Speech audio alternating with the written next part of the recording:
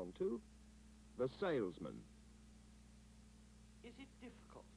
No, no, it won't take long. Uh, the only thing is, uh, you want to clean the brushes on this, really, every time you use it with this carpet. Oh, well, the last man who repaired it said every three or four times. Yes, I could tell some joke had been at it already. The salesman said the same thing. Really? Well, what would he know about it? Oh, he, uh, he might have been thinking of the standard model. Yeah, that gets no, a no, bit... no, no, no, no, no, no. That was the one I wanted to buy, but he said this one better for this carpet. Oh, did he? Huh. Who was this then? Mr. Harrison? Oh! Seen him since? Yes. Oh! He has a stair cleaner he wants me to see. When did you, uh, when did you buy this? Uh, July. This model went out in May. Did he give you a discount on this? No. You'd have got one in the high street. Well, he- said it would last well. Yeah, well, I suppose he's got the living to make. Mind you, I could never be a salesman. Why not? Too honest, that's my trouble. It's my own fault, I admit it. You know, if I was a bit more, uh, you know, I'd do much better. But, uh, well, to be blunt, I'm, uh, you know, too truthful. It's my nature, I can't change. No, no. I could never be a salesman. They don't actually tell lies, do they? Oh, no, no, no, not, uh, not lies, no. He gave me a guarantee. Mrs. Higgs, Yes. you didn't sign it, did you? Well,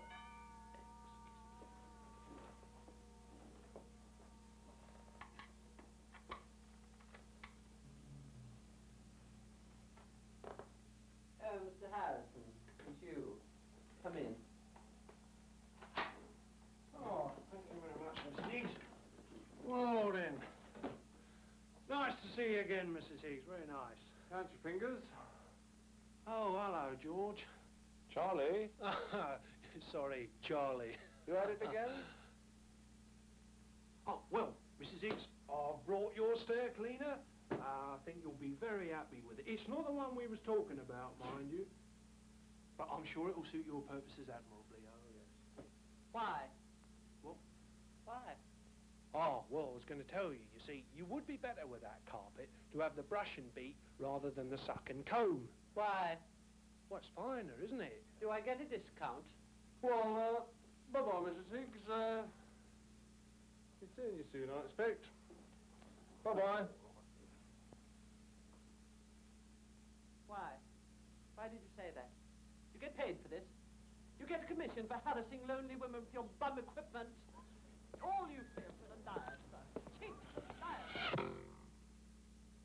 There's Charlie's trail of disaster. But there is another way. You don't have to be a Charlie. At last! I mean, you don't know what I've been through. I mean, of all times for the equipment to pack up, I mean, the one time, the last bar but one of the Sibelius E flat. I mean, can you imagine how I feel? Oh, indeed, I can. What's actually gone wrong? What's actually gone wrong? Ha! I fell for a whole smart line of sales talk. That's what went wrong. Hook, line, and sinker, one born every minute. Never again, though. Never again. Sounds a bit funny, sir. May I ask who it was? I don't remember. Uh, ah, uh, tall fellow, uh, sandy hair, horn-rimmed spectacles, serpent's tongue, Scottish accent. Alistair Mackenzie. Not like him, that really does surprise me.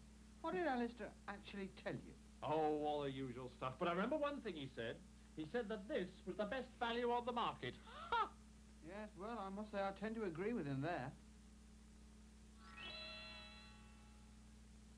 But the last bar but one of the Sibelius fifth. Yes, well, let's have a look, shall we? I suppose I was a fool to buy a load of cheap junk like this in the first place. A false economy. I should have spent a bit more and got something really decent. You have to spend a lot more to do better than this. Beautiful job. Well, then why did it just cut out? How much do you play it? Oh, I don't know, about uh, three or four hours a day, I suppose. How long have you had it? Uh, well, I can tell you, it was my 25th birthday present, uh, just on nine years. First breakdown? Yes? In what? Uh, 13,000 playing hours? Yes? Uh, yes, yes, I suppose so. Yeah, have a look at this. What? Insulation's gone. Must have cut out absolutely instantaneously. Yes, that's what he did, just like that. I mean, last Yeah. barber... Well, some said should have got a current leak. Might have given you a nasty shock. But you've got this What's that? automatic earth circuit break relay. Don't know why all the manufacturers don't fit them. Cost next to nothing, might save a life. Good Lord, automatic earth circuit break relay. Never realised that. Well, that's fixed. If you'd uh, just okay the job sheet. Yes, certainly, yes. Oh, yes, of course, you've been taken over by Universal International I bought this set, haven't you? Bet that hasn't made your life any easier. Well, to tell you the truth, I hardly noticed the difference. They leave us pretty much alone. You see, we've all been together so long in our little factory, they reckon we know the business better than they do. Oh, they've uh, given us the new testing equipment and increased the staff on quality control, but otherwise, you'd hardly know there'd been a takeover.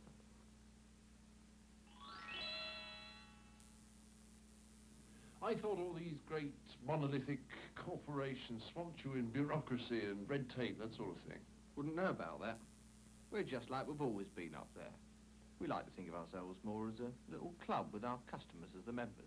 Well, I'm not much of a member, I'm afraid. I'm such a fool with this electronic gubbins, I think I'd be blackballed. I suppose most of your customers could have fixed this without dragging you out. If you'll forgive my saying so, sir, you're the perfect member. We don't make these sets for radio mechanics, you know. We make them for music lovers. You know, people who can tell the difference. We always say it's the educated ear that's our market, not the itchy screwdriver. If anything goes wrong, that's what we're here for. To tell you the truth, the do-it-yourself gentry can be a bit of a menace. Yes, I suppose they can. You know, I'd never realized that. Educated ear, yes. Yes, I see what you mean.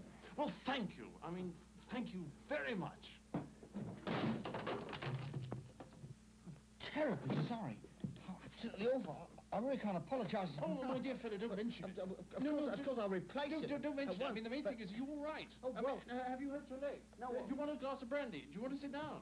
No, no, no, it's nothing, honestly. Uh, the only thing is, I can't let you have a new one before tomorrow. Oh, don't worry about that. It was only a bit of Sabina. It's practically finished, it was, actually. I just see the replacement serial number.